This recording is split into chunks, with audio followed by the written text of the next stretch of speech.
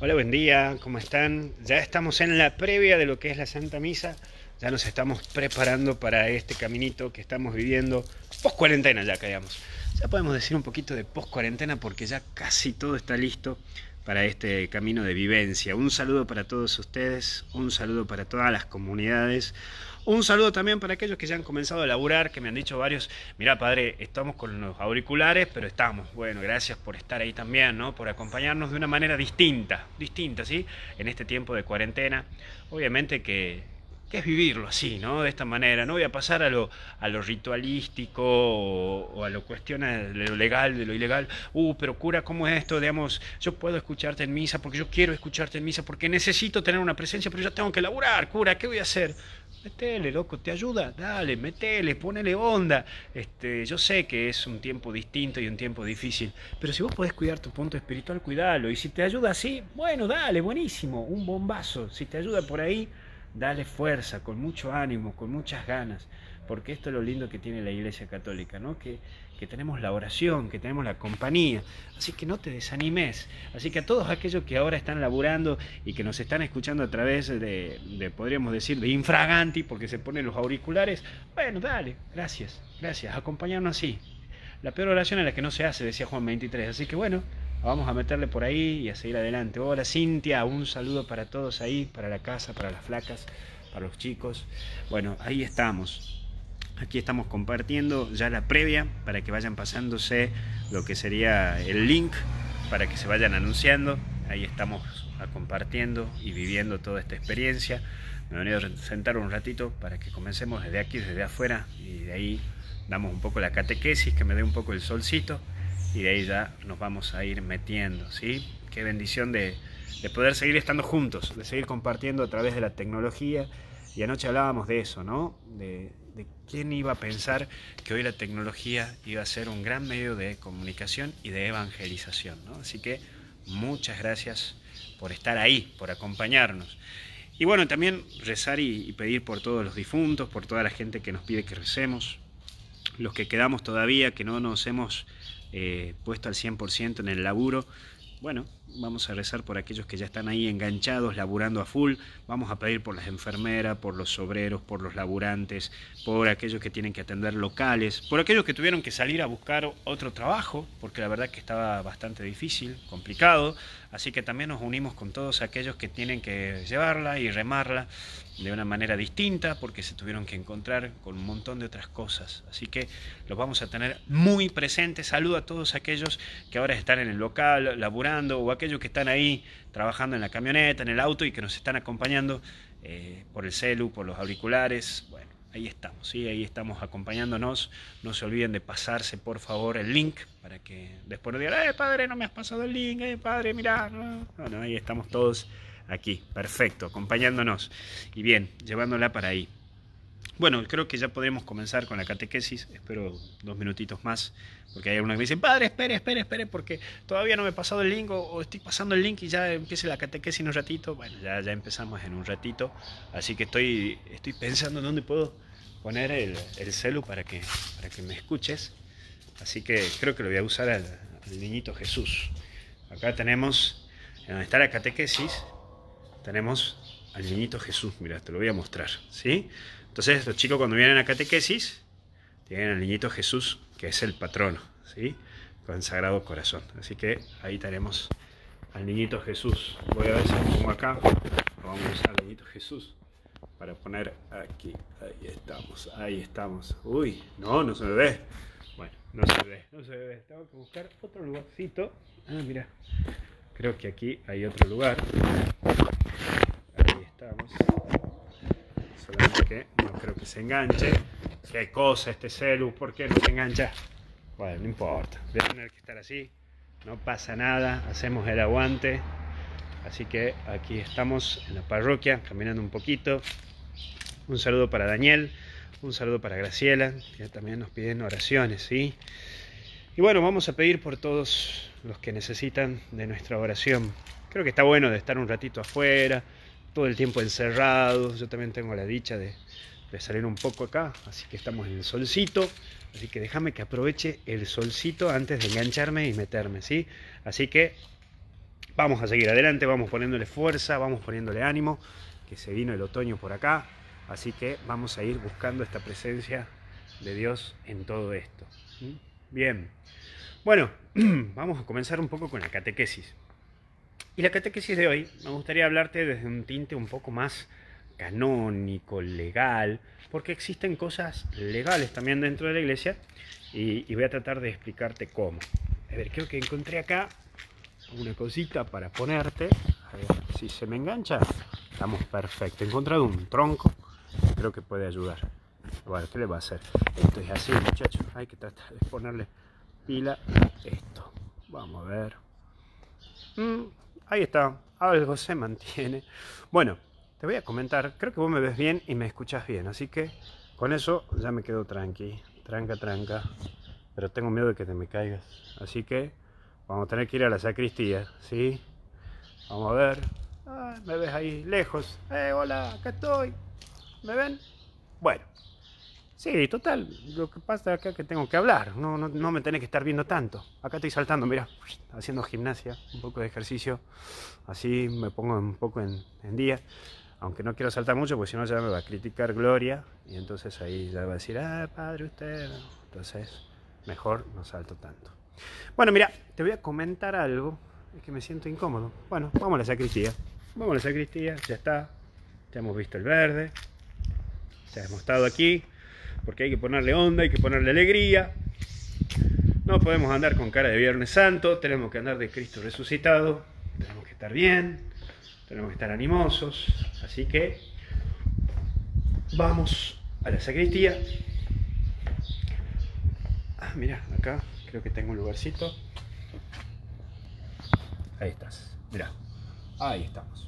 Bueno, yo creo que ahí me estás viendo bien. Bueno, te paso a comentar. Existen dos reglamentos. Está el reglamento civil y el reglamento canónico. Vuelvo a repetirte. Reglamento civil y reglamento canónico. El civil, ¿cuándo comienza a ejercer en tu vida? Desde el momento en que naces. ¿Sí? Toda persona, por ejemplo, en el Estado argentino, sabemos que toda persona que nace en Estado argentino tiene deberes y derechos dentro del Estado argentino. En el momento en que vos sos bautizado dentro de la Iglesia Católica, también tenés derechos y deberes dentro de la Iglesia Católica.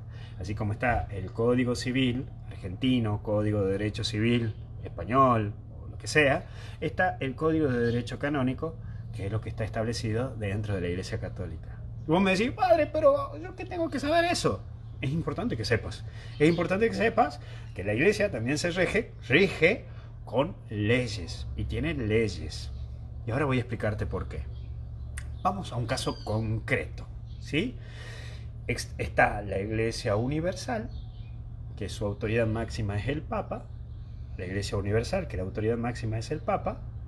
Segundo, tenés la Iglesia de la Conferencia Episcopal, que es todos los obispos que se juntan y toman decisiones a nivel región, es decir, a nivel país. ¿sí? Bueno, justo mi vecino está martillando, no me va a escuchar, así que me meto a la sacristía. y entonces, tenés el Código Civil, que es propiamente lo que marca esta situación. Acá te pongo. ¿sí? Bien, entonces, Código de Derecho Canónico, Código Civil. Tener los, dos códigos. Código de Derecho Canónico comienza a regir desde el momento en que sos bautizado. Quiere decir que desde el momento en que sos bautizado, tenés reglamento dentro de la iglesia, es decir, tenés leyes, tenés derechos, tenés deberes. Bien. Y ahora, esos reglamentos o esas leyes está el Papa, quien ejerce a nivel universal, los obispos, a nivel conferencia episcopal, a nivel región, a nivel país, y el obispo en cada una de sus diócesis. Es decir, que cada obispo tiene en su diócesis su función y su reglamento. Son toma de sugerencia a lo otro, pero el que, el que rige, el que corta la papa, el que corta el queso, es el obispo de tu diócesis. Y voy a un caso concreto. Vamos al caso de esto de las misas ahora. El Papa dice, señores, cada uno adecue su situación ante cómo se está viviendo esta pandemia en cada uno de sus países. Eso a nivel universal lo dice el Papa. La Conferencia Episcopal Argentina, la Conferencia Episcopal Argentina, el otro sector, el otro círculo, se juntó ayer Y allá se juntaron con las autoridades del gobierno argentino. Entonces, fueron los de la conferencia de y dijeron, muchachos, ¿qué hacemos? ¿Abrimos la iglesia? ¿No abrimos? Ahora que está un poquito acomodándose la cosa, ¿cómo hacemos? Pum, pam. Y entonces, ¿qué dijeron? Pueden. ¿Hay un condicionamiento? Pueden. El Papa dijo esto, la conferencia episcopal dijo esto. Ajá, ¿y entonces qué significa? ¿Que ahora en toda la Argentina se abren las iglesias y comienzan a misa y todo normal? No, no, no. Ahora cada obispo tendrá que sacar un decreto, un reglamento, para ver cómo se adecua cada provincia en su lugar. Entonces, el obispo de Concepción dijo, miren señores, acá todavía seguimos sin abrir iglesias. El obispo de Tucumán dijo, bueno señores, ya vamos a ver, ya voy a avisar, voy a sacar un decreto en estos días y voy a decir, capaz que para bautismo se pueda bautizar el bebé y que esté el padrino y la madrina, el papá y la mamá, cuatro personas. O puede sacar un reglamento y decir, bueno, aquí en Tucumán eh, se puede hacer casamiento ya. Y el obispo de Catamarca puede decir, bueno, miren, acá sí vamos a poder tener misa, pero con 10 personas. Es decir, cada obispo en su provincia va armando su reglamento. Entonces, quédate tranquilo, ¿sí? Pero bueno, más o menos es bueno que vos sepas que hay reglamentos dentro de la iglesia y que es el obispo en quien va ejerciendo tomar esas decisiones. ¿sí? Porque hay reglamentos, pero el que, manda, el que manda es el obispo en cada una de sus diócesis. El Papa siempre va a dar normas generales. O como por ejemplo, ¿no? ¿Se acuerdan cuando fue el jueves santo, viernes santo? El Papa dijo, bueno, eh, celebración virtual. Pero el Papa decía, yo quiero que el jueves santo sea solamente misa en directo. Pueden escuchar misas grabadas, pueden escuchar misas grabadas, sí. Pero el jueves santo yo quiero misa en directo, decía el Papa. Bueno, listo, se hace un decreto y todo eso. Pero el obispo de acá de la diócesis dice, bueno, acepto la sugerencia del Papa, pero como acá tenemos las distancias que son tremendamente largas y como acá hay lugares donde no hay internet, la misa del jueves santo la vamos a hacer grabada para que llegue a las comunidades grabadas. Bueno, el obispo del lugar tiene la decisión. ¿Me entendés? Entonces, ya sabes, está la Iglesia Universal, está el Código Civil, el Código de Derecho Canónico y después tenés la autoridad máxima que es el Papa, y el Papa toma las determinaciones, después tenés la determinación de la Conferencia Episcopal Argentina y después tenés la determinación del obispo de cada diócesis. Y esto también pasa para el caso, por ejemplo, de los sacerdotes. ¿sí? Ponerle que yo me ordeno sacerdote, ¿qué significa? ¿Que puedo celebrar misa en cualquier lugar? Mm, de poder puedo, pero ahora, públicamente, públicamente, todo público, no debo. Vos sabés que yo soy el Padre Luis. Perfecto. Vos sabés que yo soy el Padre Luis. Y no hay duda que soy el Padre Luis. Listo, muchas gracias. Y soy el Padre Luis. Y, pero ¿sabes qué? Cuando me vaya a Colombia, o cuando me vaya a Venezuela, o cuando me vaya a Chile, cada vez que yo llegue, tengo que llegar y tengo que presentar mi papel de decir que soy sacerdote. ¿Por qué? Porque mi obispo me puede decir, sí, anda tranquilo Chile, andate tranquilo Chile, listo, me voy tranquilo Chile. Pero cuando me voy tranquilo a Chile, el obispo de acá me dice, sí, anda tranquilo, sos sacerdote. Pero cuando yo llego allá, tengo que presentarme al obispo de allá y decirle, mire, soy sacerdote y hasta incluso le presento mi documento. Le digo, mire, soy sacerdote, ¿no? Tengo acá la, fotito y estoy con, vestido con clergyman y todo. Sí, sí, sí. Y el, y el obispo del lugar puede decirme, perfecto, pero vos aquí no vas a celebrar misa porque no quiero. Simple, no puedo. Celebra misa tranquilo en tu casa, todo eso, pero acá misa multitudinaria no quiero. Y no puedo decir nada. Yo puedo decir, pero mi obispo me da permiso, ¿no? Mi obispo, sí, pero tu obispo tiene autoridad en Tucumán. Acá la autoridad soy yo. Digo, te pongo un ejemplo, no es que pasa así, pero lo que yo quiero que vos entiendas, que el obispo puede tomar determinaciones totalmente contrarias a otro obispo. ¿Por qué? Porque el obispo es la autoridad máxima en esa iglesia. Ahora, ¿quién nombra obispo o cómo se hace para, ser obispo? Bueno, mira, en cada país existe un nuncio apostólico. Ese nuncio apostólico es un obispo, pero tiene una doble función. ¿sí? El nuncio apostólico tiene doble función. ¿Por qué? Porque es un obispo que para nivel... ¿Te acuerdas que yo te decía que existen dos códigos? El código civil y el código de derecho canónico. Bueno, porque son dos reglamentos. Entonces, canónicamente, este es el nuncio apostólico. Es el representante del Papa en el país. Ese representante del Papa en el país será el que estará observando quiénes pueden ser obispos y cómo se comporta cada obispo. Es decir, es el que regula que cómo trabaja cada obispo. Entonces, si hay un obispo que se está portando medio mal, se le anuncia al anuncio apostólico, che, anuncio, mira, el obispo de tal lado está medio complicado, fíjate. Bueno, ese anuncio es el que tiene el acompañamiento, podríamos decir, a esos obispos. Y es el que informa al Papa. Y el Papa informa quién va a ser nuevo obispo a través de él. Eso es el nuncio, a nivel canónico. A nivel civil, a nivel civil, a nivel civil, ese nuncio apostólico, ¿sabes quién es? Es, un, es el embajador, el embajador del Estado Vaticano. Canónicamente, nuncio apostólico, representante del Papa, que se encarga de, ver, de velar y de ver a los obispos y de informar al Papa y del Papa informar quién va a ser nuevo obispo. Todo pasa, él es el canal. A nivel civil, él es el embajador del Estado Vaticano, porque acordate, acordate que el Papa es el padre de los padres y la autoridad máxima de la Iglesia Católica según el Código de Derecho Canónico, pero civilmente es presidente del Estado Vaticano. La otra vez una persona mexicana me decía, sí, porque dicen que no lo quieren traer al Papa porque sale muy caro, porque no vaya a ser, que esto, que el otro. esperen, señores, guarda, ¿eh? Porque decirle a esa persona que te está mintiendo que no quieren venir, no quieren traer el Papa porque ahí pagan mucho, esto, no, no, no, no.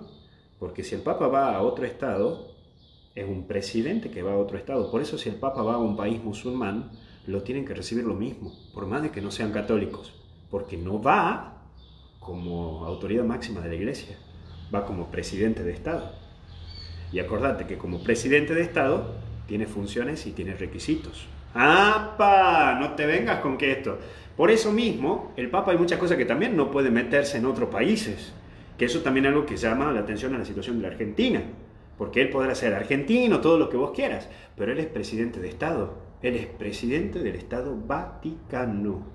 Por lo tanto, él tiene doble función. Autoridad religiosa, autoridad civil. Bueno, volviendo. Entonces el nuncio apostólico, él es el embajador del Vaticano en el país. Por eso él tiene que presentarse ante la Casa Rosada o ante la presidencia y en la embajada, donde vive el nuncio apostólico, la nunciatura, es embajada del Estado Vaticano, es, pertenece al Estado Vaticano. Entonces, cuando vos vas viendo eso, se va entendiendo. Entonces, ¿cómo se nombra un obispo? Hagamos de cuenta que, bueno, el Código de Derecho Canónico, vuelvo a decirte, establece tres elementos. Que tiene que ser una persona orante o de fama de santidad, una persona que tenga una licenciatura o doctorado, es decir, que tenga una licenciatura, es decir, que sea una persona de fama de inteligencia, que sea inteligente, y tercero, que sea una persona que no tenga ningún delito canónico y no tenga ningún delito civil, ¿sí? que no tenga acusaciones canónicas o civil. ¿sí? Bueno, entonces entra lo que se llama una tripartita, más o menos algo así te lo voy a poner, o una trilogía. ¿Qué significa? Que de esa cantidad de sacerdotes que tengan estos tres elementos, el obispo de cada diócesis elige solamente tres. Uno, dos, tres. El primero es el que más posibilidad de ser obispo tiene. Segunda opción y tercera opción. Pero el primero tiene más opciones.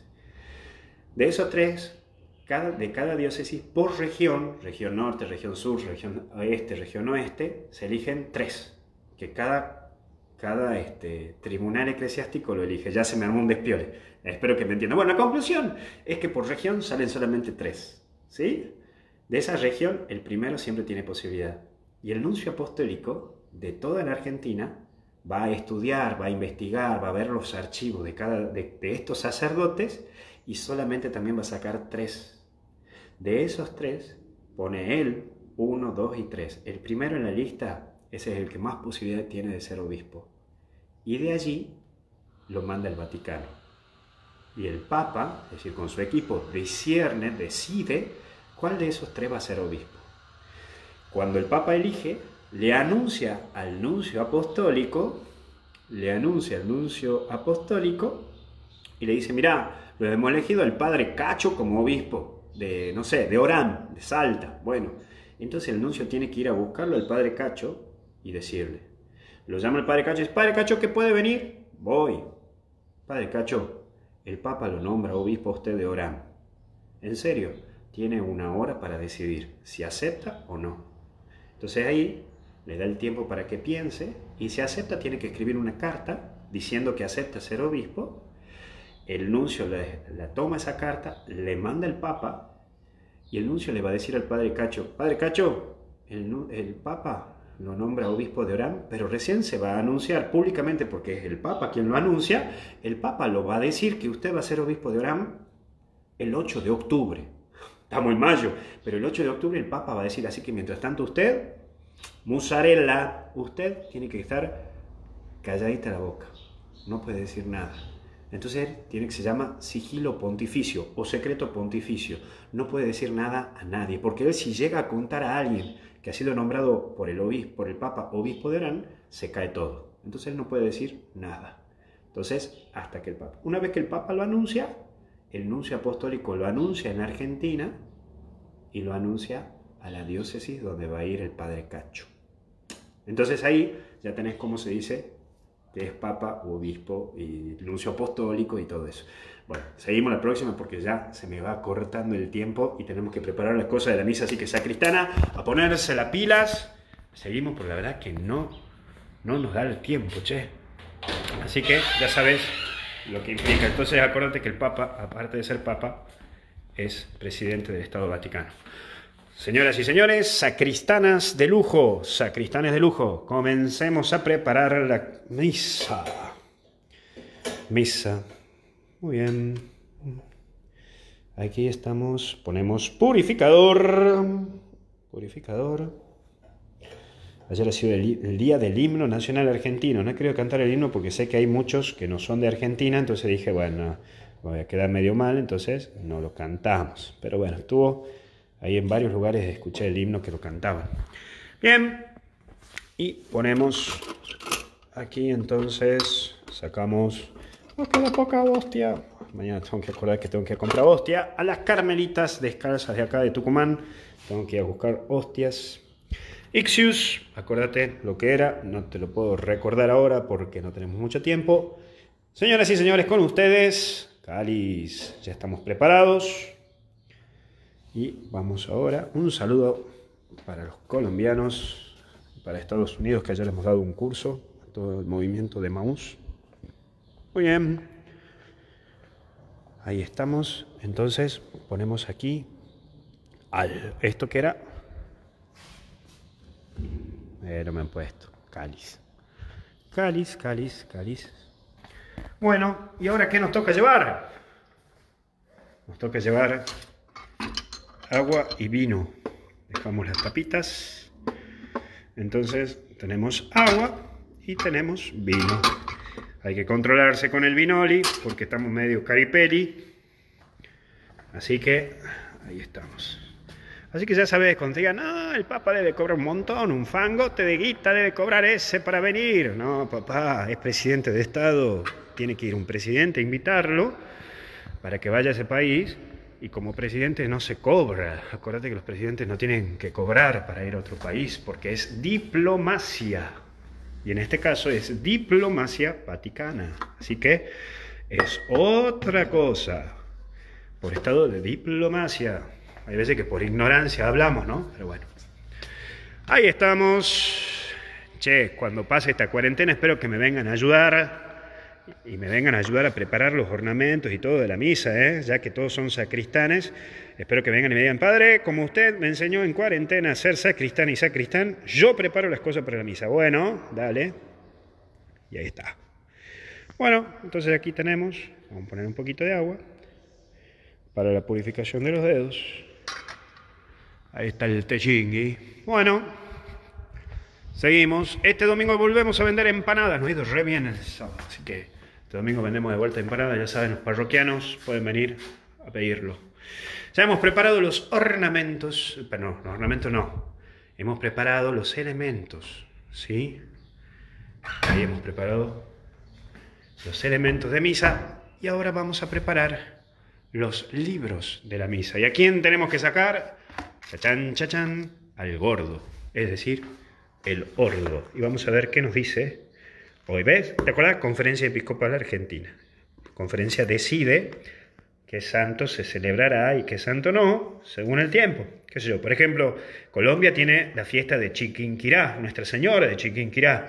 Pero bueno, acá en Argentina no la celebramos. Bueno, eso lo decide cada conferencia episcopal. Más o menos para que tenga una idea, ¿no? Bueno, entonces hoy es martes. Martes. Santos Nereo y Aquila, y Aquileo, Aquileo, mártires, rojo. San Pancracio, mártir. Tenemos y hoy en la diócesis de San Francisco y en la diócesis de Gregorio de la Ferrere, primeras vísperas. Ah, porque la patrona es la Virgen de Fátima. Bueno, vamos a tomar entonces la del día. Podemos tomar la de blanco o podemos tomar la de San Pancracio. ¿Qué quieren? Tomemos la blanco. ¿Quieren? Tomemos blanco. Tomemos blanco. Es libre. Hoy podemos decidir. A ver, vamos a ver. Pancracio o libre. ¿Qué hacemos? Piedra, papel, tijera. Piedra, papel, tijera. Piedra, papel, tijera. Piedra, papel, tijera. Listo. Ya está. Celebramos blanco. Ya está. Listo decidido, blanco. Saludamos a Santo Nereo, a Aquila, a Francisco, a San Pancracio, pero bueno, vamos a celebrar blanco. Entonces, celebramos el blanco y tomamos el libro 2, ¿sí? Tomamos el libro 2. No sé si estará en la 3 el San Pancracio y San Aquileo, porque es memoria libre. Hay veces que hay algunas memorias libres que se los toma en el día. ¿Ve? Sí, está. Santos Nereo y Aquila tiene, tiene también por si quieren celebrarlo. San Pancracio también tiene. ¿eh? No, no lo vamos a tomar. Vamos a tomar el comunacho. Y ya lo dejo para mañana, que es Fátima. ¿sí? Este acordate que es el libro 3. Ayer me he sorprendido. Estaba dando un curso ahí en, en Colombia por Zoom. Y vino uno y me dijo, sí, padre, ya sé. Y le dije, a ver, ¿Cuántos libros existen del leccionario? Me dijo, uno, dos y tres. ¡Wow! Le digo, y si yo quiero celebrar una misa de un santo, tiene que sacar el leccionario tres, me dijo. ¿Cómo saben? Che, dije, qué bien, loco. Han aprendido súper bien. ¿Cómo están todos ahí? Bueno, entonces sacamos martes, Hecho de los Apóstoles, primera lectura. Tenemos Salmo y tenemos Evangelio. Entonces controlamos rapidito. Juan 14, 27, 31, A. Acuérdate que cuando aparece A, B y C es porque significa que se toma hasta un punto o hasta un punto y coma o hasta un punto seguido de la Biblia. Cuando hay un texto largo o un versículo largo, significa que se lo va a subdividir en A, B y C. Bueno, y ahora vamos a llevar el misal. Perdón que nos hemos retrasado hoy, me entretení con la catequesis, me entretuve con la catequesis, no salió el tucumano, me entretuve con la catequesis y, y se me pasó, perdón. Y ahora vamos a traer los ornamentos, ornamentos. Lo mismo todas las catequesis, recuerden que están en YouTube, en la página de YouTube de Misioneros Digitales Católicos, MD Católicos, y ahí pueden sacar todas las catequesis. Bien, sacamos alba. Vamos a sacar cíngulo. Y vamos a sacar casulla y estola. Estola y casulla. Y ahora sí, seguimos. Bueno, vamos por ahí.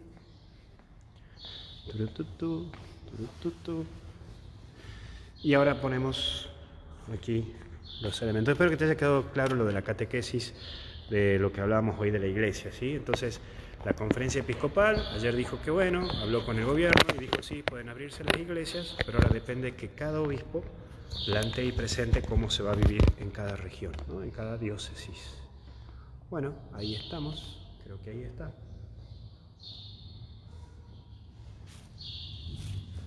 preparamos. Revísteme, Señor, de tu presencia amorosa.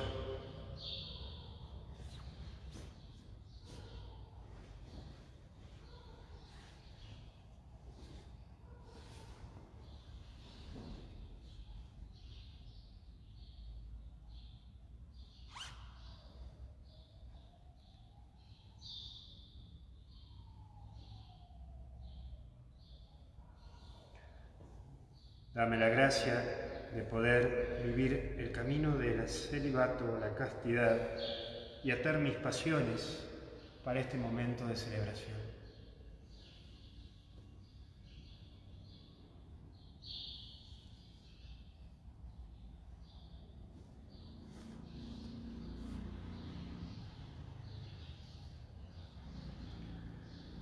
Dame la gracia del poder sacerdotal para guiar a tu pueblo hacia el encuentro con Dios.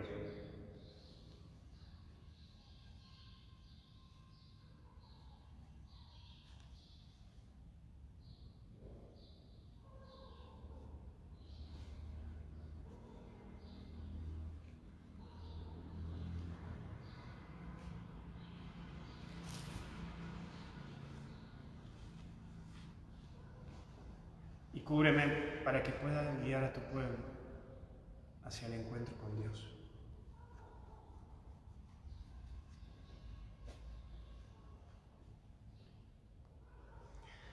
Hoy mucha gente cumple 15 años, 18, así que vamos a tener presente a todos los que cumplen años y también por todas las personas que pidieron que ahí están anotadas para la misa por los difuntos.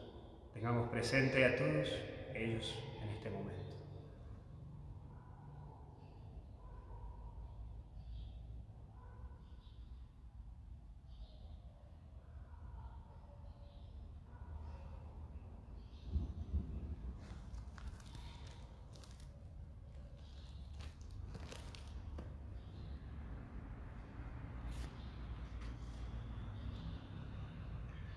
Alaben a nuestro Dios todos los que temen, pequeños y grandes, porque llegó la salvación, el poder y el reino. Aleluya. En el nombre del Padre, del Hijo y del Espíritu Santo. Amén. El Señor esté con ustedes y con tu Espíritu. Pidamos perdón por nuestros pecados.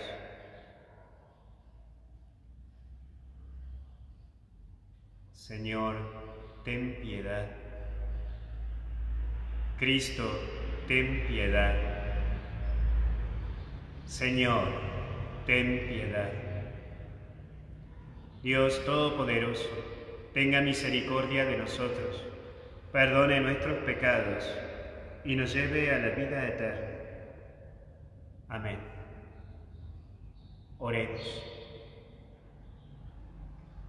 Dios nuestro, que la resurrección de Cristo nos renuevas para la vida eterna, concede a tu pueblo perseverar en la fe y en la esperanza, y nunca dudar del cumplimiento de tus promesas. Por nuestro Señor Jesucristo, tu Hijo, que vive y reina contigo en unidad del Espíritu Santo y es Dios, por los siglos de los siglos. Amén. Sentados.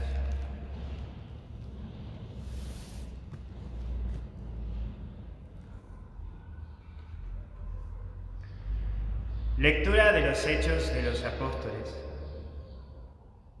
Algunos judíos de Antioquía y de Iconio vinieron a Listra y lograron convencer a la multitud. Entonces, apedrearon a Pablo y creyéndolo muerto, lo arrastraron fuera de la ciudad. Pero él se levantó y rodeado de sus discípulos, regresó a la ciudad. Al día siguiente, partió con Bernabé rumbo a Derbe. Después de haber evangelizado esta ciudad y haber hecho numerosos discípulos, volvieron a Listra, a Iconio y a Antioquía de Pisidia. Confrontaron a sus discípulos y los exhortaron a perseverar en la fe, recordándoles que es necesario pasar por muchas tribulaciones para entrar en el reino de Dios. En cada comunidad establecieron presbíteros y con oración y ayuno nos encomendaron al Señor en lo que habían creído. Atravesaron Pisidia, llegaron a Panfilia, luego anunciaron la palabra en Pergue y descendieron a Atalia Allí se embarcaron para Antioquía, donde habían sido encomendados a la gracia de Dios. para realizar la misión que acababan de cumplir. A su llegada, convocaron a los miembros de la iglesia y les contaron todo lo que había dicho y hecho con ellos, y cómo habían abierto las puertas de la fe a los paganos. Después, permanecieron largo tiempo con los discípulos. Palabra de Dios. Te alabamos, Señor. Que tus fieles manifiesten tu gloria, Señor. Que tus fieles manifiesten tu gloria, Señor. Que todas tus obras te den gracias, Señor, y tus fieles te bendigan. Que anuncien la gloria de tu reino y proclamen tu poder. Que tus fieles manifiesten tu gloria, Señor. Así manifestarán a los hombres tu fuerza y el glorioso esplendor de tu reino. Tu reino es un reino eterno y tu dominio permanece para siempre. Que tus fieles manifiesten tu gloria, Señor. Mi boca proclamará la alabanza del Señor. Que todos los vivientes bendigan su santo nombre. Que tus amigos manifiesten la gloria de tu reino, desde ahora y para siempre. Que tus fieles manifiesten tu gloria, Señor. De pie. Aleluya, aleluya, aleluya. El Mesías debía sufrir y resucitar de entre los muertos. Aleluya, para entrar en su gloria.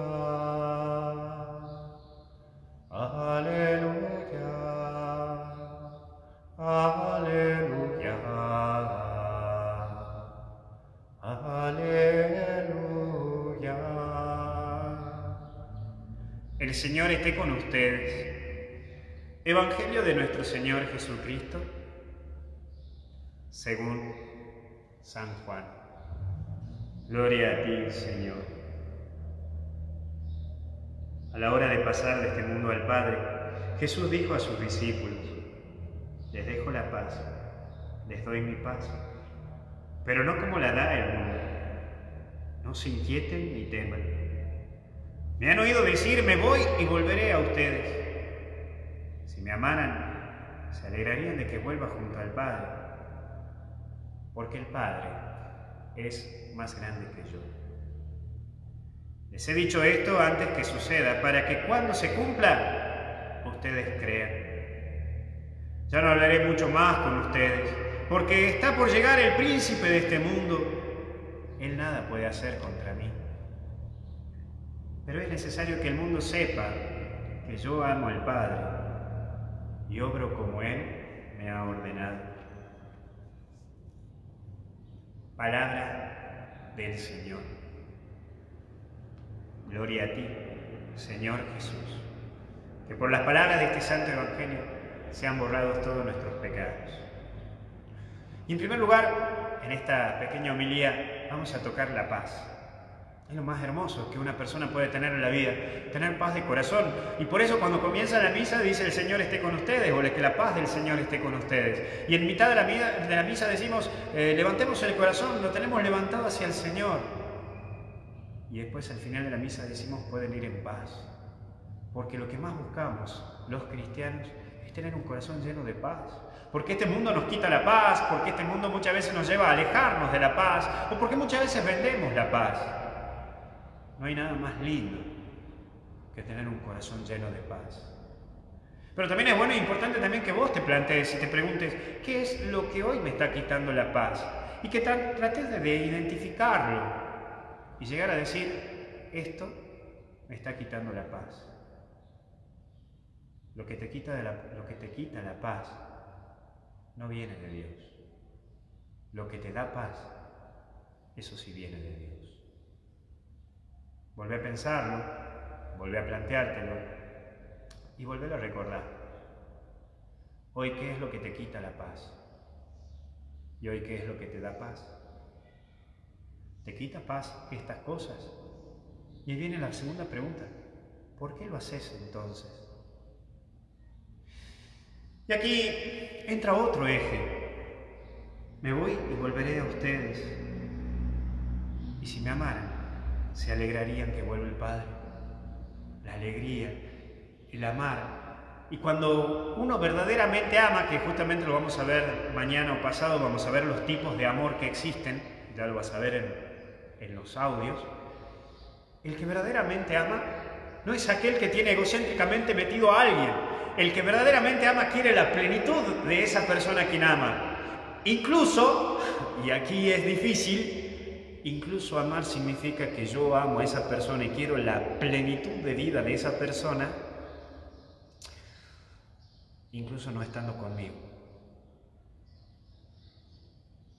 Verdaderamente eso es amor. Si yo amo a alguien, quiero que esa persona sea plena. Y la amo tanto a esa persona que quiero sea plena, incluso si no es conmigo. Que es lo que le pasa a una mamá o a un papá. Que tiene que decir, mi hijo es feliz con esta persona. Y si mi hijo es feliz o mi hija es feliz con esta persona y no conmigo, yo le he dado lo que he podido darle. Pero el verdaderamente amor te lleva a alegrarte porque ves que esa persona está feliz. ¿Verdaderamente amas? ¿O verdaderamente querés tener un amor capturado? Durísimo. Ya no hablaré mucho más con ustedes porque esto para llegar, está por llegar el príncipe de este mundo. Él nada puede hacer contra mí. Hoy me preguntaba alguien, ¿qué significa esto? Bueno, que habla del demonio, que habla de, de este mundo que muchas veces creemos que vence el mal, pero tenemos que recordar que de todo mal siempre se saca algo bueno. Y incluso de este mal de la pandemia se puede sacar algo bueno. Te dejo para que penses cinco cosas lindas. Vuelvo a repetirte, te dejo para que penses cinco cosas lindas que puedes sacar de esta pandemia o de este tiempo de cuarentena. ¿Te animas a pensarlo? Te lo dejo para que lo trabajes. Cinco cosas lindas que puedes sacar de este tiempo de pandemia que vivimos.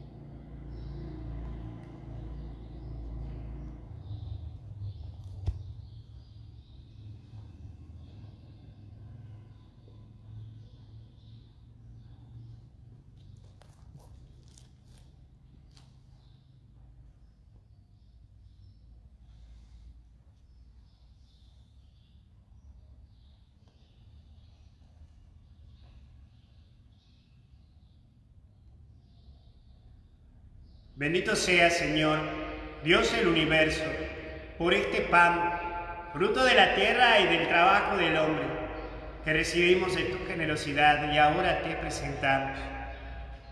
Él será para nosotros pan de vida. Bendito seas por siempre, Señor.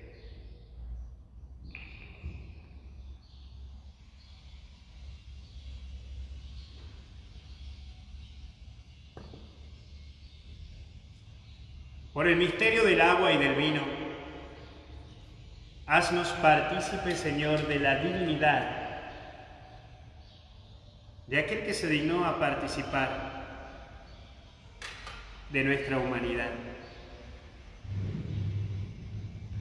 Bendito sea, Señor, Dios del universo, por este vino, fruto de la vida y del trabajo del hombre, que recibimos de tu generosidad y ahora te presentamos. Él será para nosotros bebida de salvación.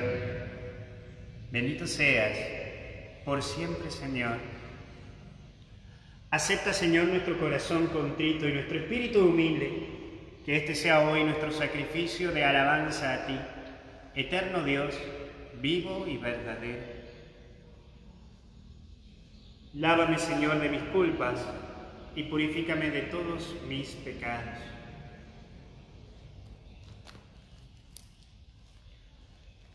Oren hermanos, para que este sacrificio, que es mío y que también es de ustedes, sea agradable a Dios Padre Todopoderoso. El Señor reciba de tus manos este sacrificio para alabanza y gloria de su nombre para nuestro bien y el de toda su santa iglesia. De pie. Recibe, Señor, las ofrendas de tu iglesia, desbordante de alegría, y después de haberle concedido el motivo de un gozo tan grande, concédele participar de la felicidad eterna. Por Jesucristo, nuestro Señor. El Señor esté con ustedes. Levantemos el corazón. Demos gracias al Señor nuestro Dios. Es justo y necesario. En verdad es justo y necesario. Es nuestro deber y salvación.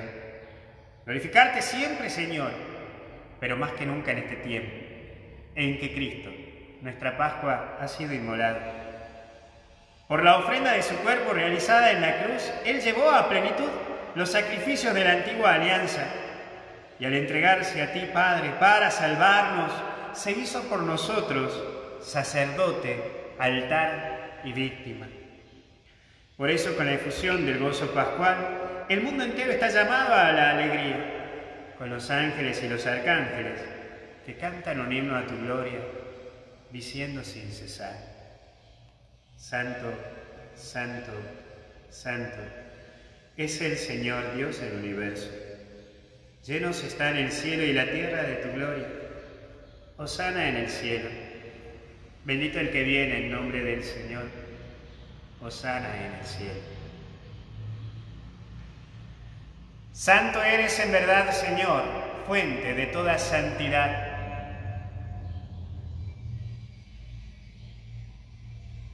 Por eso te pedimos que santifiques estos dones con la efusión de tu Espíritu de manera que se conviertan para nosotros en el cuerpo y la sangre de Jesucristo nuestro Señor. Él mismo, cuando iba a ser entregado a su pasión voluntariamente aceptada, tomó pan y dándote gracias, lo partió y lo dio a sus discípulos diciendo, tomen y coman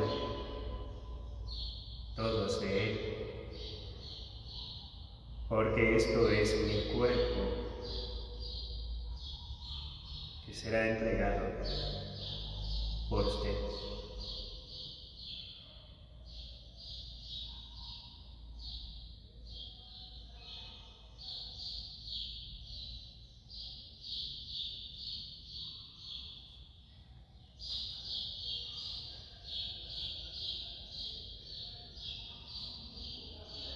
Del mismo modo, acabada la cena, tomó el cáliz y dándote gracias de nuevo, lo pasó a sus discípulos diciendo,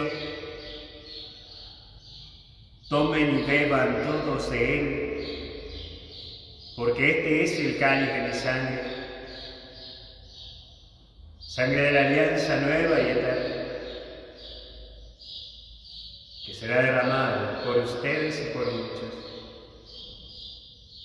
para el perdón de los pecados. Hagan esto en conmemoración mía.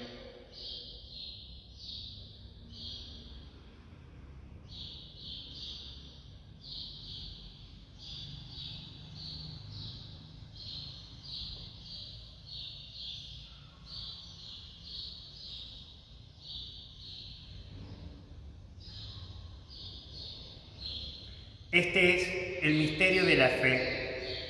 Anunciamos tu muerte y proclamamos tu resurrección. Ven Señor Jesús. Así Padre, al celebrar ahora el memorial de la muerte y resurrección de tu Hijo, te ofrecemos el pan de vida y el cáliz de salvación y te damos gracias porque nos haces dignos de servirte en tu presencia. Te pedimos humildemente que el Espíritu Santo congregue en unidad a cuantos participamos del cuerpo y sangre de Cristo. Acuérdate, Señor, de tu iglesia, extendida por toda la tierra, y con el Papa Francisco, nuestro obispo Carlos, y todos los pastores que cuidan de tu pueblo, llévala a su perfección por la caridad. Recuerda a tu Hijo, recuerda a tu Hijo. Pensamos en nuestros hermanos que han fallecido.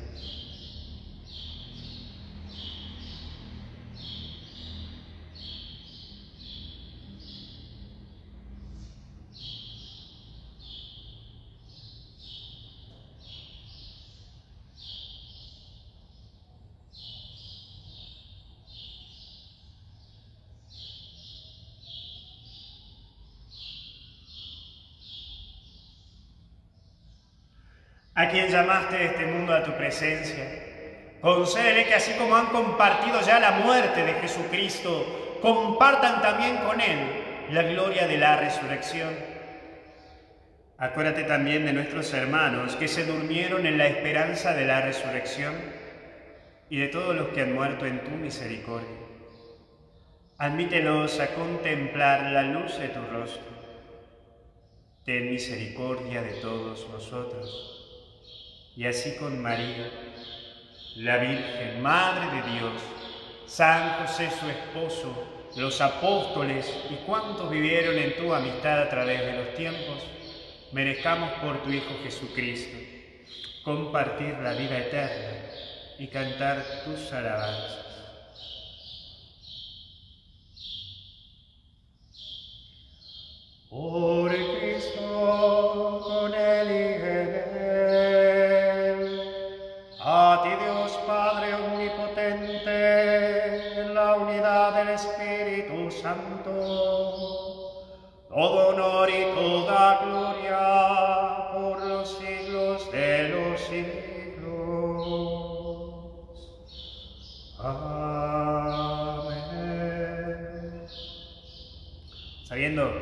Somos hijos de Dios, hagamos la oración que nos enseñó Jesús. Padre nuestro que estás en el cielo, santificado sea tu nombre, venga a nosotros tu reino, hágase tu voluntad en la tierra como en el cielo. Danos hoy nuestro pan de cada día. Perdona nuestras ofensas, como también nosotros perdonamos a los que nos ofenden. No nos dejes caer en la tentación. Líbranos del mal. Líbranos de todos los males, Señor, y concédenos la paz en nuestros días, para que, ayudados por tu misericordia, vivamos siempre libres de pecado y protegidos de toda perturbación, mientras esperamos la gloriosa venida de nuestro Salvador Jesucristo. Tuyo es el reino, tuyo es el poder y la gloria por siempre, Señor. Señor Jesucristo, que dijiste a tus apóstoles, la paz les dejo, mi paz les doy, no tengas en cuenta nuestros pecados, sino la fe de tu iglesia. Conforme a tu palabra, concédele la paz y la unidad, tú que eres y por los siglos de los siglos. La paz esté con ustedes. En el saludo de Cristo damos ese abrazo de paz en familia.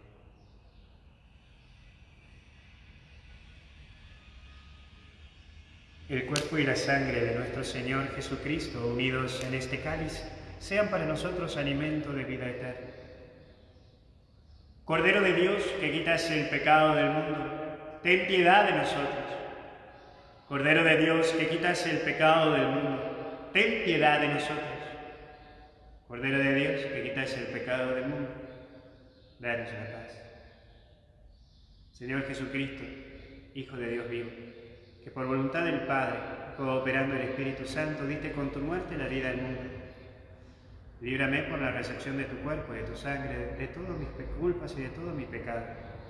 Concédeme cumplir siempre tus mandamientos y jamás permitas que me separe de ti.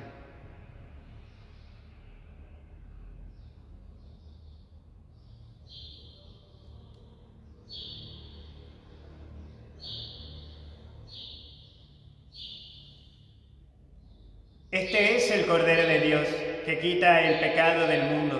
Felices los invitados a la cena del Señor. Señor, no soy digno de que entres en mi casa, pero una palabra tuya bastará para sanar.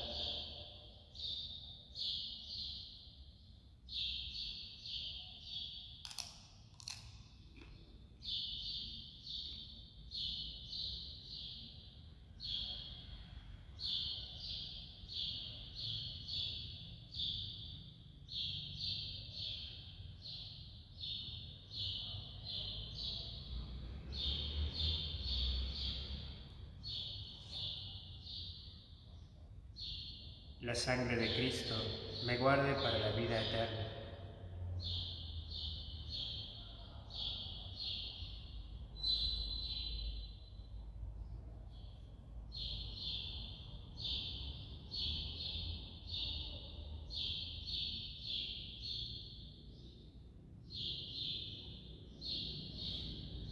Hagamos la comunión espiritual. Creo, Jesús mío, firmemente que estás presente en el santísimo sacramento del altar. Te amo sobre todas las cosas y deseo recibirte en mi corazón. Ya que no puedo hacerlo ahora, sacramentalmente, ven espiritualmente. Como ya estás aquí, te abrazo me uno a ti. No permitas que me separe de ti, Divino Salvador.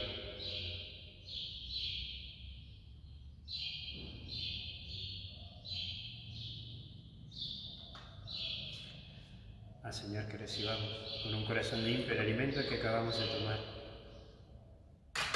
y que el don que nos hace en esta vida nos sirva para la vida eterna.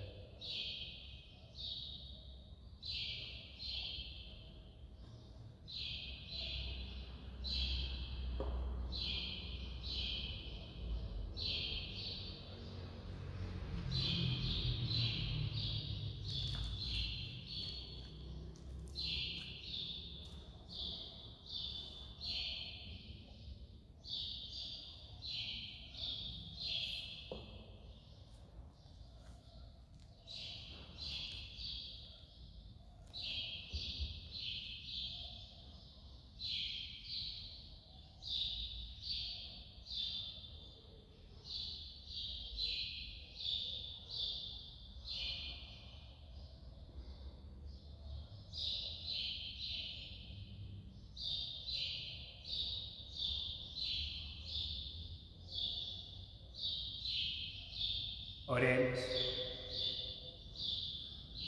Padre, mira con bondad a tu pueblo y ya que lo has renovado con los sacramentos de la vida eterna, concédele alcanzar la gloria de la resurrección. Por Jesucristo nuestro Señor. Vamos a rezarle a la Virgen de Fátima, ya que mañana es su día y mañana vamos a hacer el acto de consagración para todos aquellos que se han preparado para consagrarse a la Virgen, a la Madre del Cielo y vamos a encomendarle a nuestra patria, a nuestro país y a nuestro mundo entero a la Virgen de Fátima. Dios te salve María, llena eres de gracia, el Señor es contigo. Bendita tú eres entre todas las mujeres y bendito es el fruto de tu vientre Jesús.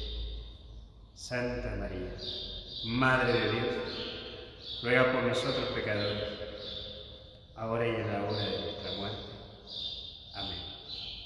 Nuestra Señora de Fátima, ruega por nosotros. Vamos a bendecir todos los objetos religiosos, ayer me olvidé, vamos a bendecir estampitas, medallitas, imágenes, vamos a bendecir también agua para los que desean agua bendita, vamos a bendecir también velas para los que desean prender una velita a su santo, a su santa, o a la Virgen, a Jesús, o para prenderla a la casa. El Señor esté con ustedes. Padre, muestra tu bondad sobre tu pueblo, al que llamas a la felicidad eterna, y no lo prives de tu consuelo en esta vida. Bendice esta familia, estos objetos religiosos, estas imágenes, estas medallas, estas estampas. Bendice esta agua, bendice estas redes, concédele la paz a cada uno y bendícelos en el nombre del Padre, del Hijo y del Espíritu Santo. Amén. Amigos, hemos celebrado a Jesús nuestra esperanza y nuestra paz. Podemos volver a quedarnos en nuestros lugares en paz. Demos gracias a Dios. No te olvides que esta noche está el curso de Tolkien que lo da la Universidad de Fasta a través de Misioneros Digitales. Lo puedes encontrar en www.misionerosdigitales.com y no te olvides que el lunes 18 tenemos retiro espiritual a las 20 horas. Muy bien, muchas gracias, que puedan vivir hermoso este día. Un saludo para los que están laburando y que nos están acompañando ahí medio infraganti con sus auriculares que Dios los siga bendiciendo y acompañando, porque hasta el cielo no paramos. Adiós.